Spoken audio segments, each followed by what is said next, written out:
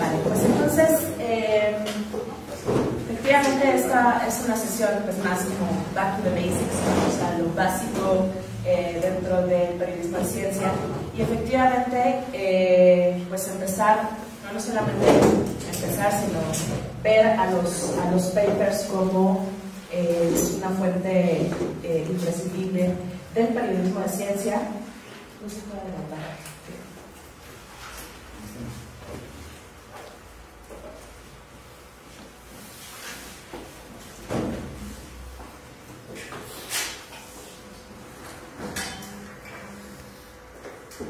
Ya se trabó.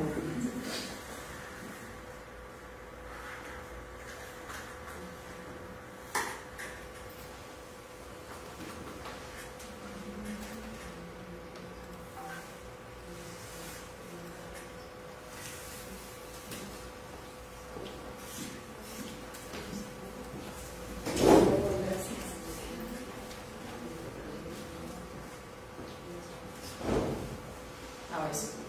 Ver a los papers como pues, fuentes propias del periodismo de ciencia, pero también, como decía Nelly, pueden ser propios de cualquier periodismo, ¿no? Desde economía y sociales hasta deportes y cultura. Eh, sin olvidar eh, varias, varios puntos de partida, que usualmente pensamos en periodismo de ciencia, pero en realidad hay muchas ciencias, ¿no? Entonces, partir también de que los papers pueden ser una fuente de diferentes ciencias, que eh, las ciencias sociales también son ciencias que de pronto se nos olvidan, que no solamente pueden ser fuentes complementarias, sino que a veces el mismo paper da la historia protagónica, y que eh, no son imprescindibles, y sin embargo su mala lectura puede derivar en problemas graves de desinformación. Y les traigo un ejemplo, eh, no sé si los que han ido a México han probado estos dulces, que son súper famosos y que se los comen los niños más pequeños, ¿no? Y eh, hace unos, eh, hace un tiempo, en el, en el 2017, salió este artículo, en México tenemos esto, eh, agencia informativa por parte del, del gobierno, que es del Consejo Nacional de Ciencia y Tecnología, y entonces salió esta nota sobre que el consumo de dulces eh, pues, está relacionado con el consumo de plomo, ¿no? De hecho, en, la misma, en, el, en el mismo artículo decía que este artículo, el paper, ¿no? el Living Can Consumer estaba diciendo que los dulces, los dulces de México, tenían altas concentraciones de plomo que estaban por encima, además de los límites. ¿no? Y entonces la prensa se, volvió loca. Si ustedes ven los titulares de muchos de los medios, si de al- altas cantidades de plomo, eh, alerta máxima, detectan plomo en dulces, los dulces más consumidos en México tienen plomo, ¿no? Y se dan cuenta, los, los medios, pues son los medios que más se en México, el Universal, Excelsior, Crónica, Proceso, ¿no? Y entonces, eh, si uno revisaba el paper, ¿no? más allá de la nota que salió en la, en la agencia, si uno revisaba el paper, había varios elementos muy interesantes. El primero era que era un paper de 2016, no del 2017, que es bueno, un año, no hay problema.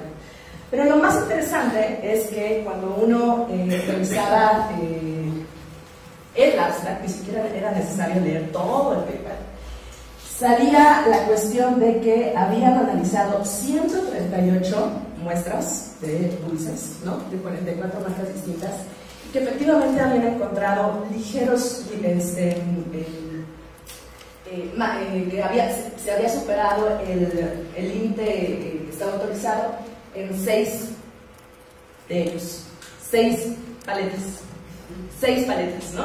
Y entonces, si vemos seis paletas comparado con estos titulares, ¿no? Hay una gran diferencia, enorme diferencia. Y entonces, eh, esto trajo como consecuencia, pues no solamente que la gente, que las mamás dejaran de, de, de- de- permitirles a sus hijos comer dulces, sino que también salieron los mismos este, productores de dulces diciendo, no, no es cierto, no, ese- son seis paletas, al final de cuentas". y además esto se hizo con niños que ya ahorita ya eran adolescentes, o sea, ya llevaban como 10 años, ¿no? Del estudio. Entonces, finalmente, eh, ejemplos como este, hay muchísimos, y pueden propiciar una toma de decisiones a partir de eh, pues una mala lectura de un paper. Y ni siquiera era leerlo todo, era simplemente leer el abstract. Entonces,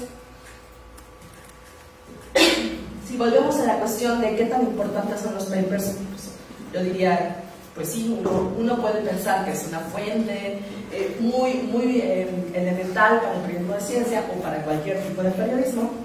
Y sin embargo, hay cierto debate. Este es un artículo de James Randerson de eh, Guardian, que en 2012 entrevistó a varios este, periodistas de ciencia y les preguntaba justamente, a ver, cuando tú vas a hacer una historia sobre un paper, ¿lees el paper? Y lo sorprendente es que muchos decían que no, o que no siempre, o que dependía del tema, ¿no? Y sus argumentos eran que pues, quitaban tiempo, eran complejos, gracias, que eh, podían dar información irrelevante para la historia periodística, que eran difíciles de obtener, ¿no? sobre todo en países en donde no tenemos el acceso directo a los, a los, a los papers y que pues, cuestan, que es mejor hablar directamente con los autores, sobre todo cuando no tienes muchísimo tiempo, eh, también pueden confundir el ángulo y yo además, bueno, no te pagan más por leer más papers, eso es cierto, y yo añadí que está en inglés, ¿no? o sea, para el público o los, los periodistas, sobre todo los jóvenes que están eh, empezando a hacer periodismo de ciencia, pues es una, eh, un obstáculo en muchos de los casos. Pero también había muchos más que decían que sí, ¿no? que era necesario, que por qué, ¿por qué? Porque propiciaban entender mejor la historia, porque era información útil para contextualizar, porque permitían plantear preguntas un poquito más sofisticadas a los entrevistados, porque permitían no caer en la opinionitis, ¿no? Entonces no solamente lo que dice el experto, porque lo dice y ya, ¿no? Es un nivel de autoridad, sino porque eh, pues información, hay investigación que se está haciendo que te permite contrastar. También permitían eh, tener más fuentes, más información, etc. Entonces digamos que a pesar de que existe esta disyuntiva, ¿no? uno puede pensar, uno puede eh, decir que si se superan este tipo de obstáculos, eh, la complejidad sobre todo, la complejidad que quiten tiempo, sobre todo pensando que un periodista pues, tiene en general poco tiempo para leerlos, entonces quizás la mayoría podríamos estar de acuerdo de que son necesarios. La idea de esta presentación, y es básicamente lo que he hecho en los últimos años, eh, más de 10 años, es cómo hacemos para agilizar esa lectura, sobre todo en tiempos periodísticos.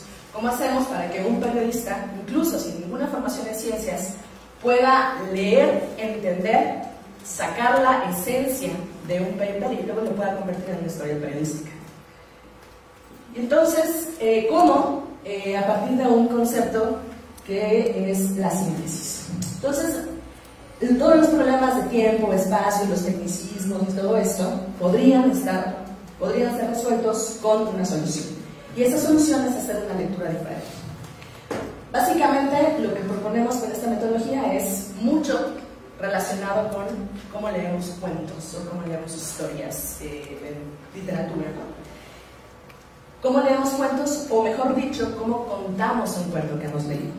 Y entonces, si entendemos que la síntesis es un proceso mediante el cual se logra una exposición breve únicamente de las ideas principales y los elementos informativos esenciales, es decir, a partir de un universo de información, hacemos una selección automáticamente, cuando le contamos a alguien un cuento que hemos leído, automáticamente seleccionamos los elementos más importantes para llegar a la esencia. Entonces, eso es muy claro en la literatura.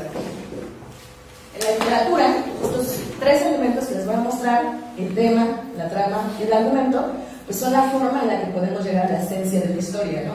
El tema, pues el asunto, el sentimiento universal que rige la historia, el trama, la trama, esta secuencia de, episodios, que ya le contaré al, hecho un poco ayer, de la presentación, el clímax y el desenlace con estas acciones crecientes y decrecientes, y finalmente el argumento, el conflicto central de la historia. Entonces, en literatura es relativamente fácil identificar cuál es la esencia de una historia eh, pues en, en, literatura a partir de estos elementos. Y un ejemplo, de hecho, lo tuve que hacer para, para, mi tesis, es eh, aventarme Moby Dick. No sé si han visto el original Moby Dick, que es una, cosa súper este, compleja, con muchos tecnicismos, muy larga. Y entonces era saber si con estos elementos se podía llegar a la esencia del Moby Dick. Y efectivamente, el tema de Moby Dick pues, es, venganza, ¿no? el sentimiento que rige a Moby Dick es venganza. La trama es pues, todos estos episodios, que ahorita no alcanzo a leerlos, pero es básicamente eh, pues, los elementos esenciales que nos permiten entender Moby Dick. Y finalmente el argumento, que es un capitán obsesionado por matar a una ballena que lo atacó años atrás. Entonces, con estos tres elementos, básicamente, podemos contarle a cualquier persona Moby Dick y cualquier otra historia que aparentemente sea muy compleja al inicio. Entonces, la hipótesis de este, de este trabajo es lo que se puede hacer en literatura, que a partir de una obra larga, compleja, con tecnicismos, etc., se puede hacer una síntesis para rescatar la esencia de Moby Dick que sea breve y conserve lo más importante. Entonces, la hipótesis es que ese mismo proceso, la hipótesis es que este mismo proceso se puede llevar a la literatura científica. Y entonces, a partir de un paper que es complejo, largo, con tecnicismos, etc., podemos llevar a la esencia del paper, a la ciencia del paper y saber si podemos tener historias periodísticas. Entonces, es básicamente llevar los tres elementos de la literatura a la literatura eh, científica. Aquí el tema tiene que ver con el área de la ciencia, ¿no? física, química, biología, lo que sea. la trama es la secuencia de episodios de la investigación, que no es esta pirámide, que se llama la, pirámide Freitag, ¿no? de inicio, clímax y desenlace, pero sí hay una estructura en la, en la, investigación, ¿no? la introducción, la metodología, los resultados y la conclusión. Y finalmente una especie de argumento, que es la historia, la, la idea central del paper, nosotros le llamamos relaciones de causa-efecto. Entonces la idea es que con estos tres elementos, cualquier periodista, repito, sin necesidad de tener alguna formación en ciencias, puede leer mucho más rápido y puede identificar qué parte de esa ciencia quiere contar. ¿Cómo? Bueno, esta es la, la, propuesta metodológica, es una propuesta, les decía, que ya lleva muchos años y que ahora no solamente nos sirve para em, identificar la ciencia de los papers, sino también nos sirve como guía para planear nuestros reportajes. Entonces, se divide en tres fases, como les decía, identificar el tema, la trama y el argumento, en estas tres fases. Entonces, hacemos, como sabemos que vamos a tener muy poco tiempo, nos basamos siempre en el abstract como primer punto de partida. Entonces, eh, hacemos una lectura del abstract con esta, con esta, eh, con esta eh, estructura y no nos fijamos en los conceptos desconocidos. En esta segunda fase, para identificar cuáles son los episodios de la investigación, buscamos esos conceptos y finalmente en esta última, para llegar al argumento, eh, seleccionamos los elementos esenciales que nos den cuál es la, la, causa, cuál es el efecto. Y este es el ejemplo. Traje este ejemplo porque es muy claro ver aquí cómo a partir de un, de un abstract que es prácticamente eh, pues, ilegible, ¿no? O sea, cualquier persona que le diga, a ver, sacan una historia de esto, ¿no? Eh, bueno, no lo alcanzo a leer todo, pero es Volume of Interest Assessment of Ontologic Response Using 18FFDGPCP, a Phantom Star. Entonces, la idea, como les decía, es identificar los tres elementos. El tema, pues, oncología, ¿no? Eso, digamos, es lo más obvio. Pero después, para sacar la trama, eh, lo que les decía es dividir el abstract en estos elementos, en esta estructura, e identificar los elementos, los conceptos que eh, desconozco. Yo elegí ¿no? lo que yo pensaba que era indispensable para conocer la historia y en una siguiente fase buscamos esos elementos. Esto es una cosa muy, entre más rápido mejor incluso, ¿no? Entonces ahí podemos saber el volumen de interés es una técnica utilizada para medir el volumen de masas tumorales, el fantasma es un maniquí, el PET-CT me ayuda mucho a pensar que son imágenes, ¿no? Esta tomografía eh, por emisión de positrones, 18 de es un radiofármaco, y las regiones calientes y frías es donde se concentra un nuevo radiofármaco. Y entonces con eso puedo regresar a mi abstract y replantearlo de manera que sea mucho más sintético que me permita ir identificando si hay una historia periodística. Entonces digamos que esta es mi síntesis de la ciencia, mi trama. Lo que me falta es definir el argumento. ¿Cuál es la idea central de este paper? La idea central, les decía, tiene que ver con el conflicto, cuál es la causa y cuál es el efecto. Entonces, en este paper específico buscan evaluar una técnica para medir la actividad tumoral medir la actividad tumoral para qué? Para saber qué tan bien funciona o no un fármaco para atacar un tumor. ¿Y eso para qué? Para mejorar las radioterapias. Entonces, básicamente buscan evaluar una técnica para mejorar radioterapias. A partir de esto, que esto ya es mi argumento, puedo hacer mejores preguntas, estoy en un nivel de eh, entendimiento mucho mejor para poder hacer preguntas a mi fuente. Y entonces lo que salió de este paper y lo que, lo que salió después de hacer este, esta entrevista es que eh, en el INCAN, que es el Instituto de Cancerología, el instituto más importante de México, en donde están, hacen diagnóstico y terapia para cáncer, no sabían si los fármacos que estaban utilizando para tratar cáncer estaban atacando los tumores de los pacientes. No estaban seguros que lo estaban Entonces, ahí, ahí está la historia ¿no? Y entonces, el antes de, pues, el paper, que es complejo, que es que tú lo ves no necesariamente, no estaba ni siquiera en la agenda periodística, ¿no? No está en la agenda periodística y sin embargo, con una lectura diferente, ¿no? Es posible encontrar un argumento que te permita rastrear la historia. Entonces, esa es básicamente la idea de la metodología, eh, hacer mucho más accesible la lectura de papers.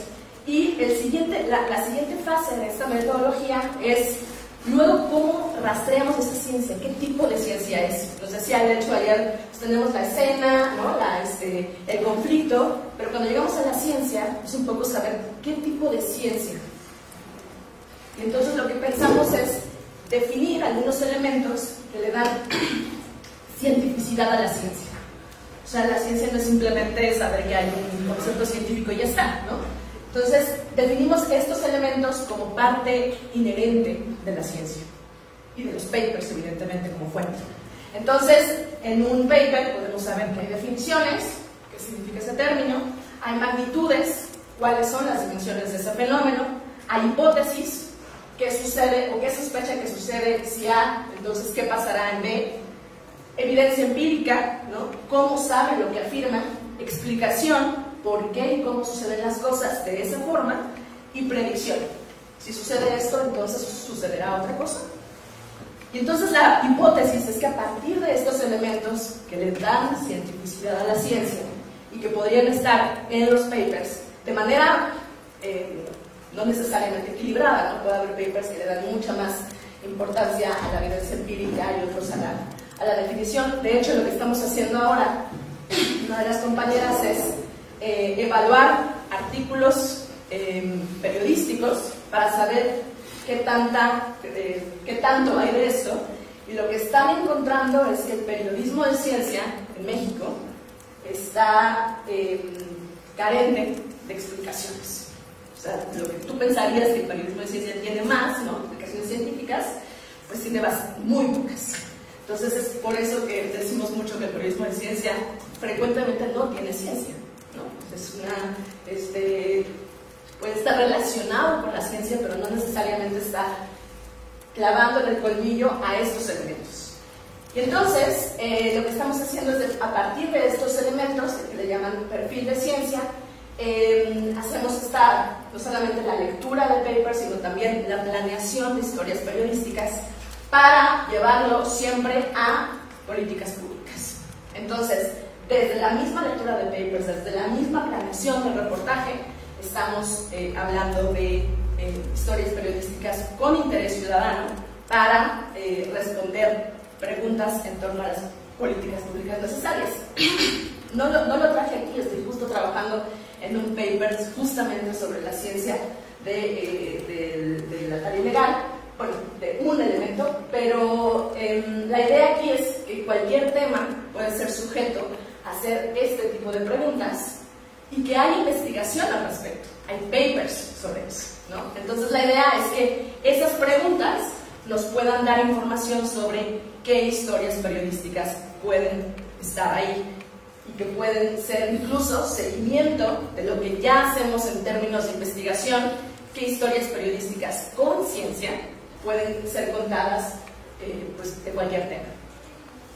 Y esto que les traje es simplemente esta partecita de una metodología, les decía, que hemos desarrollado durante muchos años, y es básicamente eh, llevar al estudiante, sobre todo de periodismo, desde la historia o de la idea de historia que, está, eh, que tiene en mente, hasta, bueno, con una... Eh, los obligamos casi casi a pensar cada historia a partir de los intereses ciudadanos que tienen que regir ese, ese tema. Lo llevamos a eh, artículos científicos con este nuevo perfil de ciencia que nos obliga a meterle ciencia a las historias para luego hacer entrevistas un poco más sofisticadas y entonces hacer tanto el guion como la narrativa. Entonces, esta es como la, metodología eh, completa, pero eh, pues yo me centro sobre todo en, estudiar mejor cómo podemos hacer para que un periodista pueda leer más rápido Y es básicamente.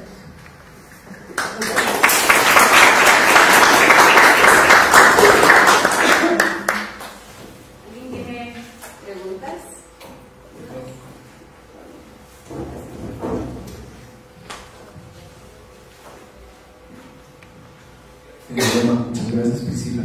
Creo que se Aleina. Aleina. Priscila está por Y el número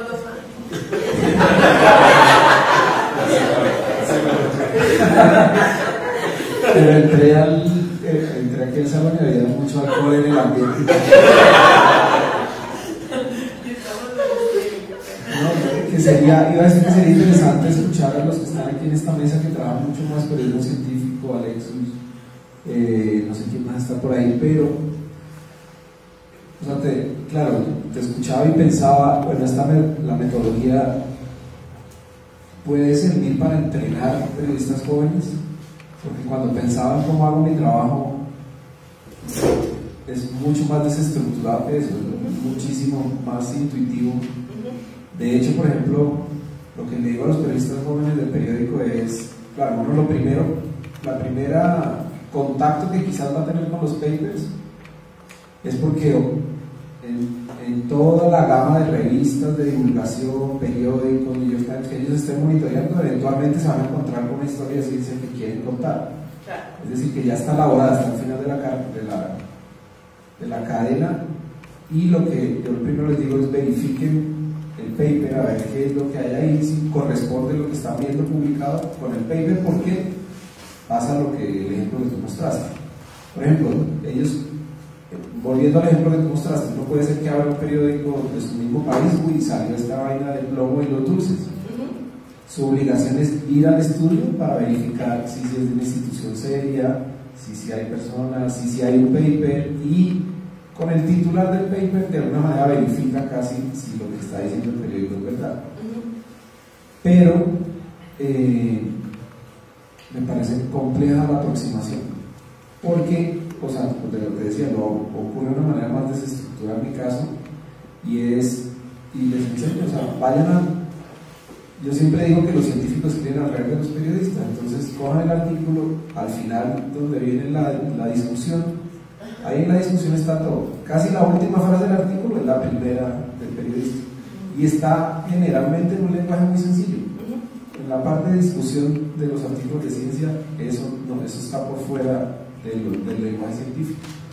Y ahí está la noticia, y si leen eso más el resumen, ya casi pueden armar una nota. Y claro, ya si te vas a volver un periodista ultra especializado en astronomía y solo publicas de astronomía y vas a publicar en revistas de divulgación de astronomía, seguramente vas a tener que llegar a niveles de análisis de papers mucho más complejos. Pero en general, eh, lo veo de una manera mucho más sencilla, más sencilla la aproximación al paper. Pero pues, sería chévere escuchar cómo están leyendo papers los, los otros que leen. Nada más te, respondo. Hay una pregunta. No, que tengo la, tengo la impresión, pero es totalmente lejana y equivocada seguramente que en México, por alguna extraña razón, el periodismo científico como que se refugió en la UNAM, las universidades empezaron a crear desde ahí reflexiones y se ha hecho intentos de periodismo científico más desde ahí que desde los medios propiamente, en los medios en otros países, por ejemplo en Colombia, el periodismo científico empezó a florecer más desde periodistas que estaban en los medios y casi que me parece que se empezaron a crear dos tradiciones, una mucho más académica, reflexiva y con todas esas exigencias, la otra más intuitiva y más diferente. no sé, pero hay como una lejana impresión.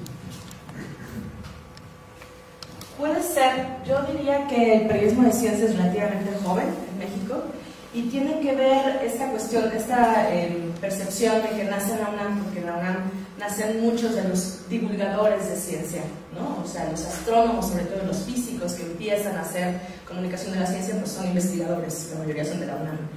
Y se crea esta, esta dirección de comunicación de la ciencia, la primera en la historia del país, en la UNAM.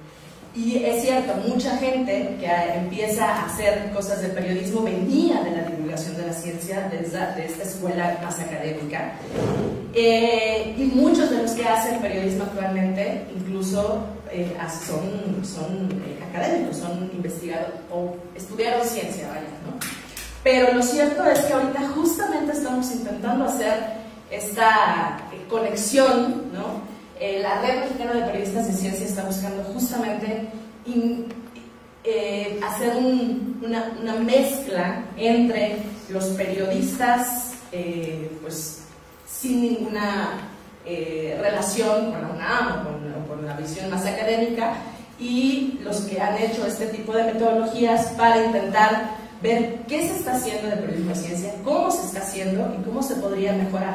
De hecho, hay ya algunos hay trabajos de investigación sobre, eh, por ejemplo, cómo se está eh, cubriendo la parte de medio ambiente en tal periódico y entonces la idea es que se junten tanto quien hace la investigación como quien está trabajando en esos periódicos para ver de qué manera esa investigación puede ayudar a mejorar las, las, coberturas. Em, existe esta diferencia, yo la verdad es que no la, no la veo como una como, una, eh, como un problema, sino más bien como una ventaja de ver desde distintas perspectivas el periodismo y poder alimentarnos unos de los otros. De hecho, yo, por ejemplo, hice esta tesis, pero yo trabajo como freelance en varios medios haciendo el periodismo de ciencia. Y lo que me parece es que este trabajo un poquito más reflexivo nos está ayudando, por lo menos al, al grupo, a los grupos con los que los compartimos, a desde el mismo diseño de la historia pensar, ¿no? reflexionar sobre, ok, ¿cuál sería la explicación que necesito tener en mi historia para que eh, la historia quede clara? ¿O por qué esta hipótesis es necesaria? ¿Por qué esta evidencia es necesaria? Entonces, más allá de que efectivamente una persona ya con muchos años de formación y de experiencia en periodismo de ciencia dice, bueno, no tiene mayor eh, eh, dificultad, lo cierto es que por un lado, para estudiantes es mucho más claro y le, pierden más eh, rápido el miedo a los papers como una fuente principal desde el inicio, y por otro lado nos está sirviendo para pensar desde el mismo diseño de las historias eh, cómo contarlo y qué tipo de ciencia necesita cada historia. Es un poco como eh, hacer, ver, a, ver a, la, a, la, historia periodística desde su mismo esqueleto y saber en qué parte le vas a poner más, más carnita. Y eso creo que solamente lo he podido entender mucho más al, al, irme mucho más atrás, al, entender la estructura y al organizar de esta forma la, las, las, coberturas periodísticas. Este, una pregunta. Eh, quisiera saber si en México, o no sé si te referías a, esto que voy a preguntarte con lo último que decías, pero quisiera saber si hay una experiencia en que el periodismo científico da un salto para trabajar en conjunto con, los científicos para buscar más en evidencia nueva. Es decir, por ejemplo, tuvimos una experiencia en Pública hace un tiempo de publicar una historia sobre si los, la titulación en las zonas pobres mejoraba la calidad de vida de la gente. Entonces a la hora de entrevistar a algunos expertos decían, bueno, no, para hacer esa conclusión no es tan sencillo, tendrías que crear una metodología que es muy compleja, que tomaría un año, no, podíamos hacer ese, ese, trabajo. Entonces a partir de ahí han surgido, y de hecho tenemos varias experiencias en las que queremos hacer eso, ¿no? preguntarles que, cómo recoger evidencia, ¿no? tal vez hacer un trabajo conjunto, ¿hay, ¿hay algo de eso No, no que yo sepa, no que yo sepa. Eh, en mi experiencia personal, lo que sí ha pasado, bueno, me pasó una vez, eh, quería hacer un reportaje sobre cómo podríamos pensar una ciudad, la planeación urbana de una ciudad, si lo pensáramos como un organismo vivo. O sea, qué similitudes y qué posibles analogías podría haber para eh, pues plantear diferentes estrategias de planeación. Y nadie había, o sea, no había nadie en México que se especializara en eso. Entonces, cuando busco y rastreo en físicos, químicos, o sea, ecólogos, gente que podría tener alguna respuesta, eh, les pareció como que era un tema eh, sujeto a investigación, ¿no? Y entonces crearon una línea de investigación que es un poco como ver a la ciudad en un organismo vivo.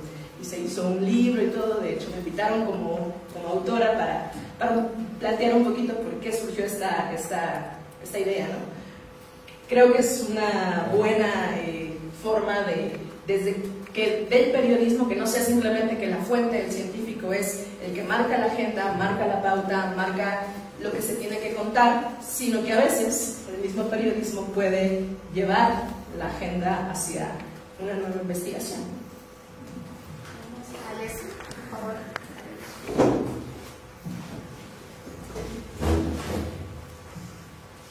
Voy a, voy a convertir mi comentario en pregunta. Eh, no, me pareció interesante que tu, tu manera de, de, digamos, eh, tu, tu, lista que era como explicación, que hablaba mucho de los artículos mexicanos, eh, esa sí podría ser una lista para entregarle a los periodistas jóvenes a decir, hey, tú tienes que eh, responder estas seis eh, temas de cada paper. Pero mi comentario que se va a volver en, en pregunta es, eh, definitivamente discusión, abstracto, ok, podemos formar un artículo breve sobre ese estudio. Pero mira que los eh, científicos de datos ya están desarrollando eh, algoritmos que pueden escribir notas de periodismo científico, porque saben que es formulario, ¿no? facilísimo de verificar. Tal como AP y otros están jugando con escribir notas automáticamente, ¿no? Entonces, mi pregunta sería, ¿cómo podríamos eh, exigir a nuestros eh, periodistas jóvenes o a alguien que recién empieza a escribir sobre la ciencia en vincular por lo menos tres otros estudios, no solo mencionar uno de dulce, sino establecer el contexto científico y exigirles. Entonces, preguntar, ¿cuáles otros podríamos eh, exigir a, a, los, a los jóvenes periodistas? Em,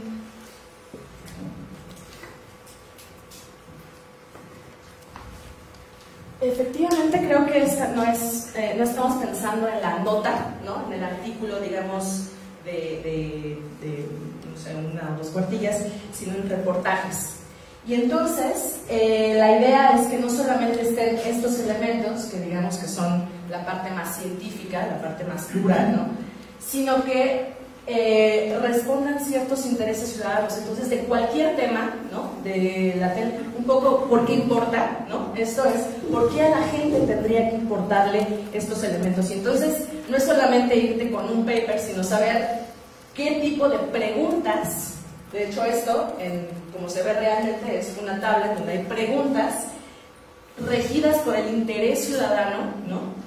que pueden ser respondidas con ciencia, pero también con anécdotas, escenas, pero también con otras fuentes especializadas. Por eso aquí puse fuentes, porque no es solamente un paper, sino es la eh, exploración en literatura científica y también personas, y también no solamente investigadores, sino también este, eh, gente común ¿no? que esté siendo afectada por estos problemas, porque la idea es centrar las historias en los intereses ciudadanos. Al final es pensar que el periodismo es, eh, responde a la gente, ¿no? al interés público, y los reportajes de ciencia tendrían que tener no solamente la ciencia, sino también todos los elementos que nos permiten mostrar el interés público de esas historias. Y no sé si un robot lo puede hacer.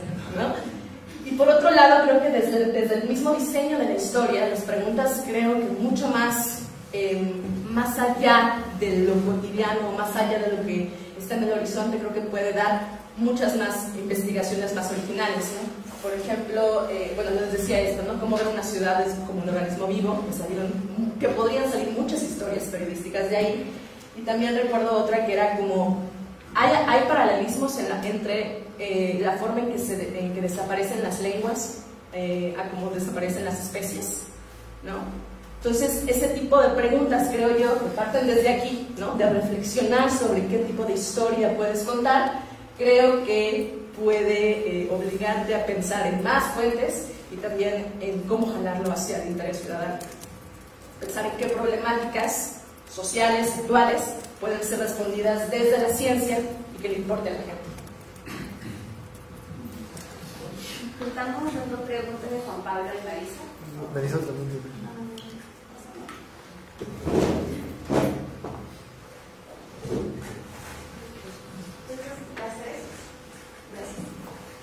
Eh, en Ecuador no se hace mucho periodismo científico, casi nada. Eh, ¿Cuál sería tu recomendación como para empezar a hacer? Justo hemos tenido esta discusión en que cada que nos gustaría hacer algunas cosas, pero no sabemos mucho por dónde empezar. ¿Qué nos recomendarías tú para empezar? Gracias. Hola, sí, me parece interesante lo que decía Pablo, como de comentar algunas dificultades y experiencias de quienes usamos muchos papers, en Monada y reseñamos bastantes papers y había algunas cosas que me parecían interesantes. La primera, no tener o no poder tener una visión más amplia de las investigaciones, porque si bien es cierto un paper tiene una metodología y seguramente tiene un resultado interesante, siempre un paper tiene otro paper que puede decir absolutamente lo contrario, ¿no? Y entonces cuando ya entras más al mundo de los papers, a veces, y en nuestro caso con un público especializado, luego tienes un científico que te escribe, oye, pero ya salió el otro que dice lo contrario, ¿no? Entonces también yo creo que en ese sentido nos hay algo por trabajar y quizás por crear alguna base de datos que nos permita a nosotros poder tener una mayor seguridad cuando eh, publiquemos papers, eso es lo primero. Lo segundo me parece interesante es en ese mapeo establecer un poco la diferencia entre el ángulo de investigación de los científicos de fuera y los nuestros, ¿no? Porque tenemos mucha gente haciendo investigación, o sea, acá tenemos la Amazonía, es la perita dulce de los científicos, y también tenemos ahora nuestras propias instituciones haciendo investigación sobre eh, causas, en fin. Por ejemplo, en el caso de La Palma, muchos de los estudios han venido de Indonesia y ahora que se están haciendo hay cosas muy interesantes sobre si es posible reforestar, si en verdad está afectando o no. Entonces, me parece que eh, justamente en esta idea de mapear y tener distintos puntos de vista de papers, algo podría ser interesante, ¿no? Y lo tercero tiene que ver también con la propia, con la propia cercanía que podemos tener con los científicos, justamente por la diferencia de opiniones que puede haber con un paper, sin olvidar que los científicos también tienen su propia agenda y los institutos o las instituciones tienen sus propias agendas. O sea, el hecho de que sean científicos no los exime de que haya una, un contexto político, un financiamiento, ¿no? Y también cómo, cómo podemos enmarcar eso y no, o sea, no convertir sobre la ciencia en objetivos, sino darle un contexto también político, sobre todo a nosotros que nos toca vivir en esos espacios donde está haciendo la investigación científica. ¿No? Lo decía como comentario, como para reflexionar, como me pareció. Como aproximación personal, aunque te mandaron, me mocaba ahí este paper sacar publicar de investigadores brasileños, de cómo qué haces tú personalmente con el paper. Mira, yo ya no, ya no los he estado viendo tan seguro que seguido más es Alexa y la veo sufrir. Hemos tenido, por ejemplo, y le, le, voy a pasar el libro, pero por ejemplo, solo para contar una cosita en la que sufrimos, y yo sufrí con Alexa, en el caso de, de, de, del avance de la deforestación en Centroamérica, eh, porque tú veías el paper, tenías unas cifras, pero en realidad el paper te exigía hacer un cálculo con una fórmula que tenía. Entonces, en verdad, ni siquiera leyendo el paper y entendiéndolo podías tener en verdad la cifra. Pero luego estaba relacionado a drogas, en verdad. O sea, podías tener la cifra de la droga, pero eso no te daba realmente el contexto de lo que estaba pasando en Centroamérica con ese tema tan este, interesante y polémico que es el de narcoganadería o narcotala, ¿no? Entonces, por eso me, me, parece interesante que ahí hay, hay, varias cosas como para empezar a desarrollar más. Para no, yo sigo más o menos la misma metodología que tú dijiste, o sea, empiezo por el abstract, la discusión, pero yo en realidad me, me leo todo el paper, ¿no? Me leo toda la metodología, la parte de conclusión, me leo todo, ¿no? Pero es un poco por el temor de que es un tema tan complicado que siento que tengo que entender todo. Y cuando son muy... Hay algunos que son más sencillos, pero hay algunos que son súper complicados, entonces yo digo, tengo como un staff de asesores por temas, entonces llamo a un biólogo porque una cifra no me sale y sé que hay un cálculo al final que yo jamás voy a entender, entonces ya he llegado a hacer como cálculos hasta llegar al número y decir, ay, este es el número exacto de árbol que he sacado de tal lugar para no decir cualquier cosa, ¿no? Pero básicamente cuando estoy como sobre la marcha es abstract, discusión, ¿no es cierto?, conclusiones y una entrevista con los temas más complicados, con las preguntas que tengo sobre el paper al científico, ¿no? Por ahí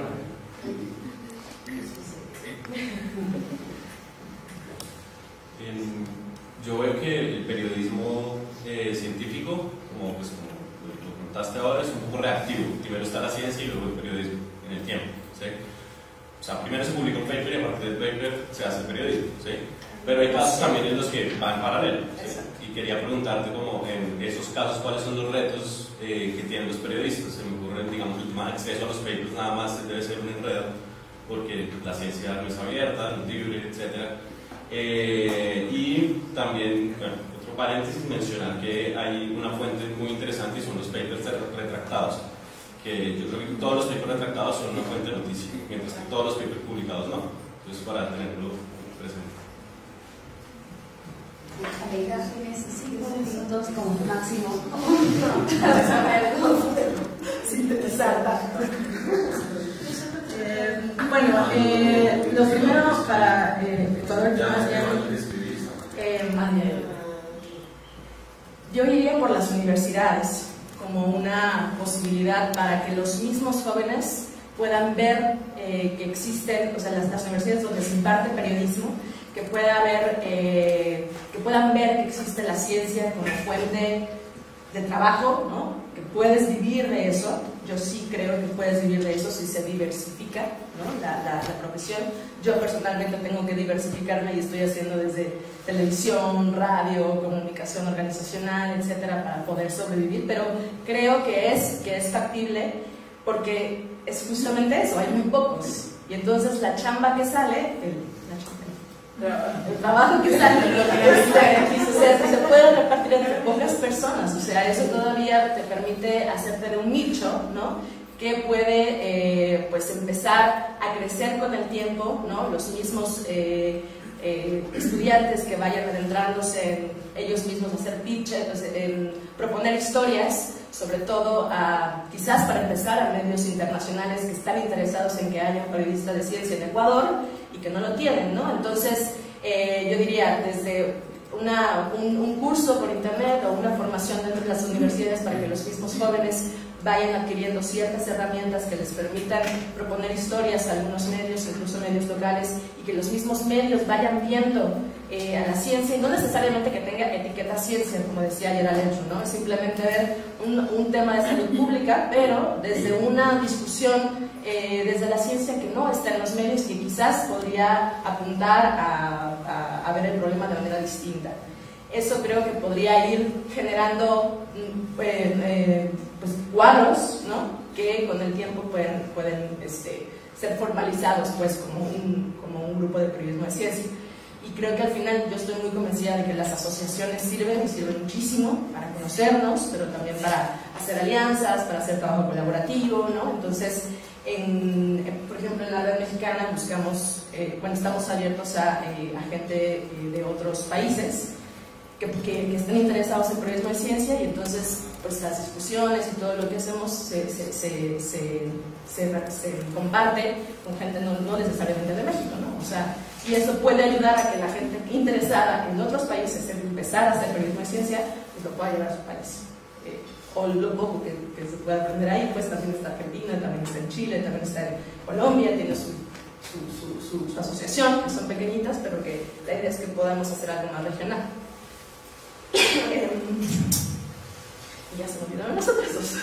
bueno, eh, voy a decir algo sobre la dificultad eh, de lectura. Creo que sí, quizás vuelvo a lo mismo, ¿no? Efectivamente puede haber una forma ya muy de cada quien para aproximarse a los papers. Esto no es para nada una, eh, una única propuesta, yo creo que hay muchas más eh, propuestas para, para, para, adentrarse. Creo que eso está muy pensado para el estudiante que tiene un miedo, un pavor a la ciencia, que ni siquiera se ve como periodista de, como periodista de ciencia porque alguien le dijo que tiene que leer papers para eso y que están, eh, la mayor parte de, de, de, ellos indescifrables. Entonces, simplemente porque no quieren eh, eh, porque ven eso como una limitación, muchos de ellos se van por otras fuentes un poco más eh, light, diríamos, ¿no? Y la ironía es que el periodismo de ciencia muchas veces se le ve como light, ¿no? Como, como lo último en los periódicos, las secciones de ciencia que, bueno, si no están en un día en la, en la radio no importa, porque es ciencia, no importa, ¿no? Entonces la idea es que se vuelva también una forma de cómo incorporamos la ciencia como parte de la coyuntura y como parte de las historias periodísticas de cualquier tema, independientemente de que se llame ciencia o no. y, y, finalmente la parte de eh, antes, sí, que esto parecería que es primero el paper y luego el periodismo, primero la ciencia y luego el periodismo. Eh, no, en realidad em, muchas de las veces, bueno, muchas de las veces incluso no, no hay un paper de por medio, ¿no? Sigue habiendo, sí puede haber muy buena historia periodística. La idea aquí es, como está aquí justamente, esto es periodismo, esta es la parte periodística. Y estas preguntas es la que te obligan a saber, incluso si necesitas un paper, ¿no? O sea, porque desde el mismo planteamiento de la historia, creemos aquí que está obligándote a pensar qué fuentes consultar y qué parte de esas fuentes valen o no la pena para tu historia. Es un poco ser totalmente independiente, justamente ponerte, poner una línea eh, eh, referente a los científicos como, únicas fuentes y como, las personas que van a dictar la historia. Aquí es al revés, aquí es mi historia, mi historia periodística y yo decido en función de el menú de, y la diversidad de fuentes qué me sirve o no para contar. Entonces creo que es al revés. Creo que lo primero es el periodismo. Y el periodismo me dicta qué ciencia necesito para contar la historia.